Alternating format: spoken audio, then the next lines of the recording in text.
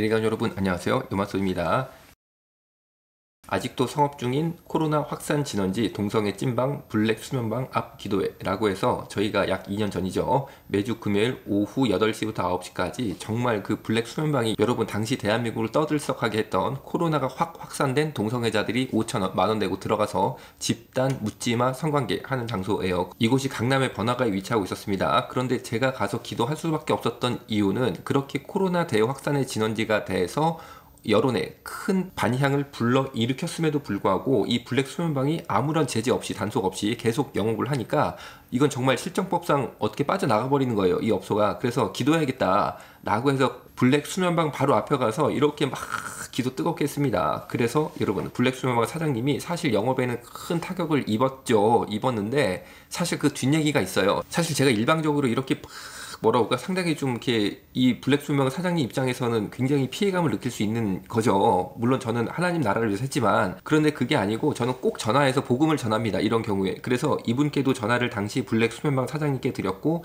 정말 제가 간곡히 기도도 드리고 복음도 전했는데 이분이 사실 그 당시에 기도에 아멘도 하셨어요. 그리고 뭔가 성령님의 감동도 받으셨어요. 그거는 저는 분명하게 저는 그렇게 생각합니다. 왜냐하면 이분이 그 기도 이후에 저한테 이메일을 보내신 거예요.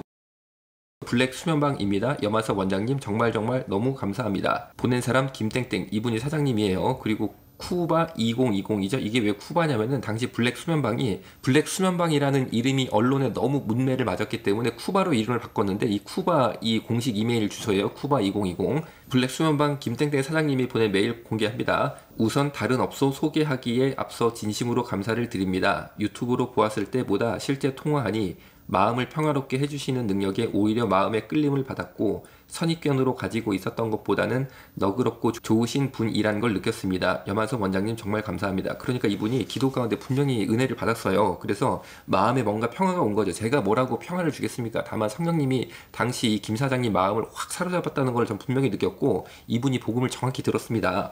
그래서 뭔가 감화 감동이 되셔가지고 이분이 자기가 생각해도 자기 업소가 나쁜 거는 알고 있었어요. 왜냐면 여러분 만 원 내고 들어가가지고 모르는 남자들이랑 동성애자들이 20명씩 10명씩 그냥 그냥 막 그룹으로 막 학문 성행위를 한다는 게 이분도 사실 마음이 편하진 않았던 거라고 저는 분명히 생각합니다.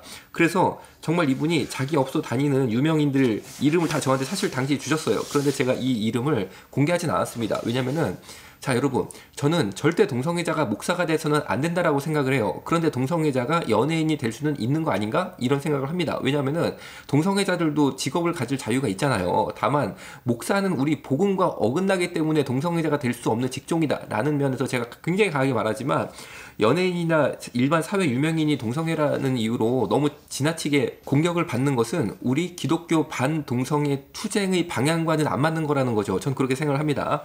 자, 다만 이분들이 본인이 동성애자인데 동성애를 대한민국에 널리 확산시키려고 적극적인 노력을 하고 있을 때는 우리 기독교 동성애 운동의 강한 비판의 대상이 물론 당연히 되고 그렇게 비판할 겁니다.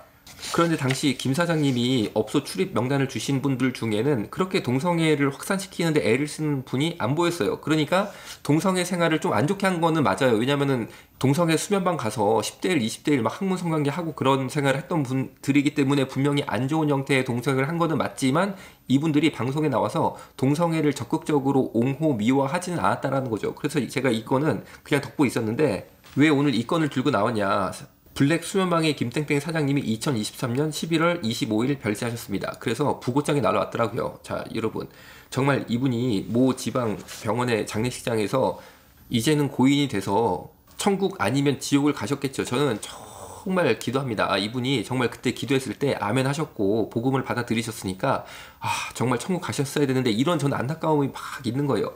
그런데 이분의 부고 소식을 제가 접하고 나서 보니까 이분이 저한테 당시 이메일을 줘서 본인 업소 출입하는 그런 유명인들 명단을 주신 것이 당시 이분이 뭔가 성령님의 감동을 받아서 대한민국이라는 사회에 자신이 벌인 과거에 대한 회개의 뜻이 아니었나 이런 생각이 드는 거예요.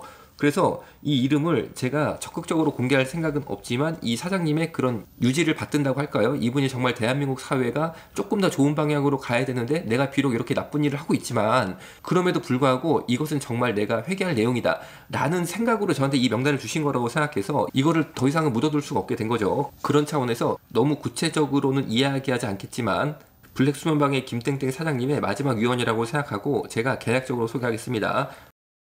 먼저 땡땡 뉴스 아나운서 이땡땡님 이분 메인 앵커입니다. 그리고 낮자 들어가는 유명 드라마가 있어요. 거기에 출연했던 김모 씨, 이 배우도 블랙 수면방 자주 오셨고, 그리고 남신경 별로 안 쓰고 자주 자주 오셨다고 합니다.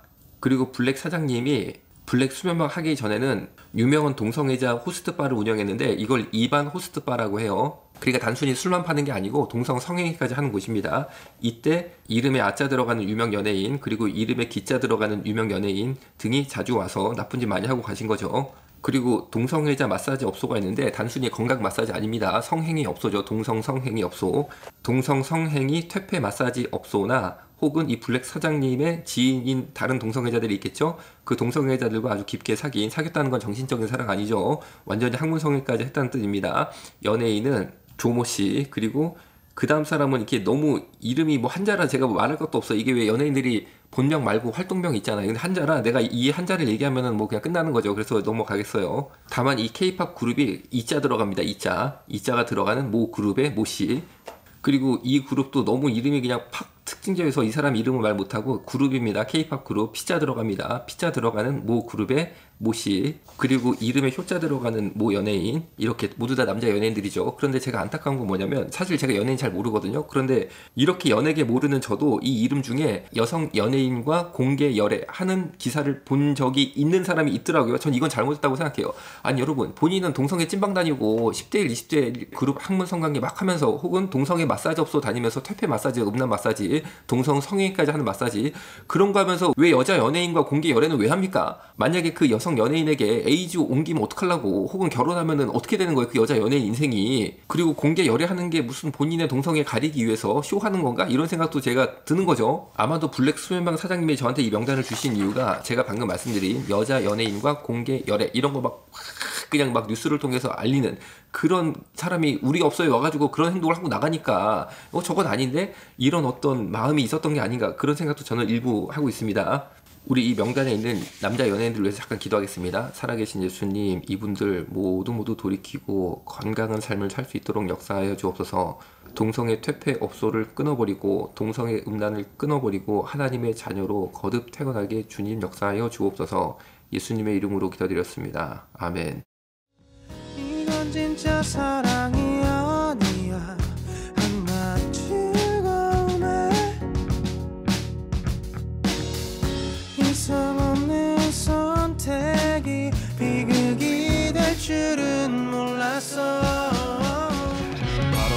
알아 정체성. yeah. 올바른 우리 정체성. 업기로도 바꿀 수 없어. Nature never ever change 바로 알아 정체성. 건강한 성 정체성